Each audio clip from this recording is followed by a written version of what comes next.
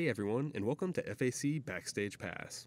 This video will be all about FlyRail 101, so if you're ready, let's get started. In this video, we'll be going over some of the basic information about the fly system, FlyRail, and how to operate it. We'll also show you the more interesting parts of the fly system, some of which we haven't gotten to see until we started putting this video together.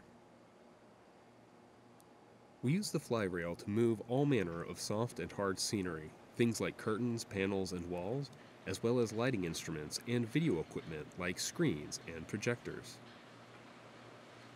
We're able to do this using counterweight, counterweight that is added to the arbor in the amount of whatever we have attached to the batten.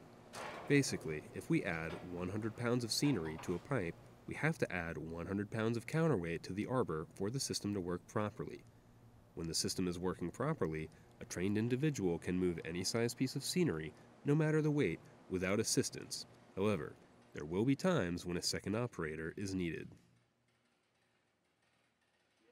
Before we explain the steps needed to actually move a line set, we should lay out some ground rules for operating our FlyRail system. Following these rules will help ensure safe operation not only for your crew, but for your performers and guests as well.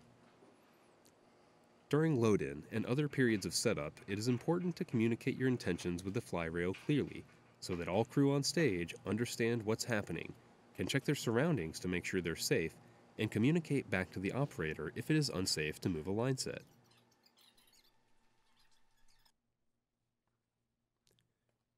When someone asks for a line set to be moved, the operator should then call out, so that all on stage can hear them, which line set they intend to move and in which direction they intend to move it. It is then the responsibility of all the crew on stage to respond vocally, typically with a thank you line set moving, if they are clear and aware of themselves in relation to the moving line set. The operator must always remain in control of the line set they are moving, while also paying attention to input from other stagehands such as spotters, who may be watching for foul ups as the line set moves past other flown equipment. It is important to keep extraneous noise to a minimum so there is no confusion if a spotter yells stop when they see a potential problem. It's every crew member's responsibility to look out for potential safety issues and call them out when they see them. It is strongly recommended that all stagehands wear a durable pair of gloves whenever they operate the fly rail to help protect from blisters and cuts while handling the ropes. When you go to move a line set, you will first remove the lock ring from around the handle of the handbrake. Then pull the handbrake down to release it. If you are moving the line set out, you would then pull down on the rope farthest away from you, applying resistance to the rope closest to you to slow down and stop the line set. To bring the line set in, you would then pull down on the rope closest to you, applying resistance to the far rope to slow down and stop the line set. Once the line set is stopped, pull the rope lock up into the locked position and replace the ring lock around the handle of the handbrake.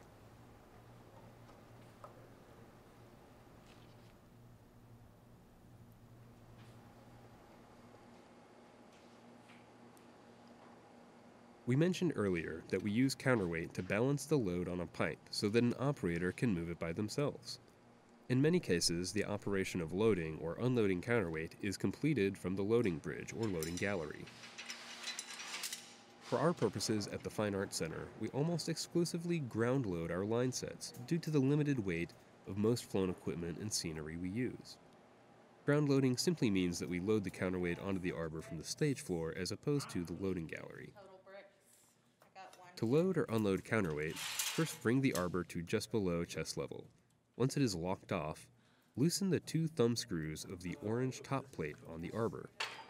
Then slide the orange top plate up to above head high with the yellow spreader plates and use a spring clip to attach the spreader plates to the top plate. Finally, tighten the thumb screw on the front bracket of the top plate to hold it in place while you add or remove weight. You will notice that the opposing corners of each stage weight has a 45 degree angle notch cut in them. By offsetting this notch with each brick we load, we're left with a small surface to lift the brick from when we unload. These are just a few of the many things to remember when you go to operate a line set. In future videos, we'll go into greater detail on these subjects and more as we aim to provide accurate and useful training information for all our employees across the many disciplines of technical theater. Thank you as always for watching. Feel free to let us know what you think in the comments. Don't forget to hit that like button if you enjoyed this content, and if you haven't already, subscribe to this channel so you can keep up to date with FAC Backstage Pass.